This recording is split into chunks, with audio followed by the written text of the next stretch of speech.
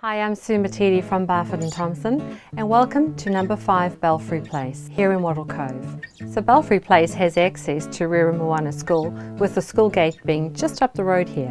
Why don't you come on in and have a look at this lovely home. Perfect possibly for your family if your kids want to go to the local school and what a great environment to live in.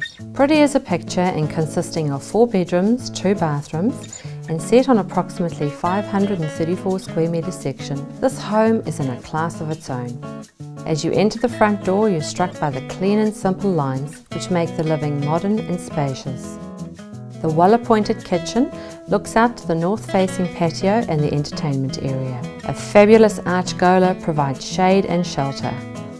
The dining room leads off from the formal lounge, which enjoys lots of natural light. A second living area adjacent to the kitchen is ideal if you want a separate space for the kids.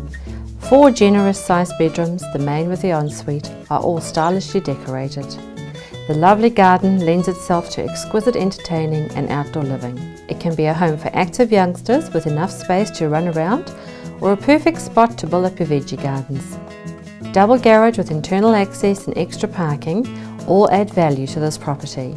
Any way you look at this home, you will realise that it's been loved and cared for, only having one owner and built in approximately 2005. Extras include gas heating, burglar alarm and lots more.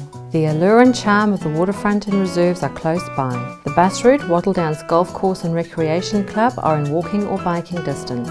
Living down in Wattle Downs, you've got a great community feeling with walkways and reserves all the way along the peninsula.